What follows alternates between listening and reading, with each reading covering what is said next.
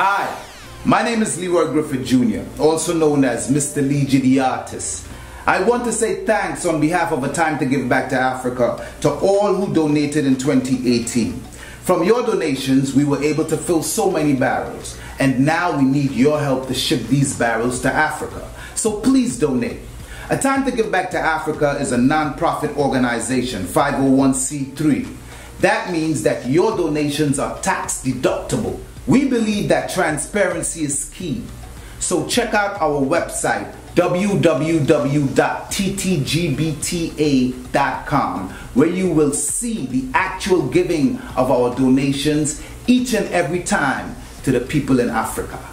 You can contact us via our website or by these phone numbers. Please get involved. We need your help.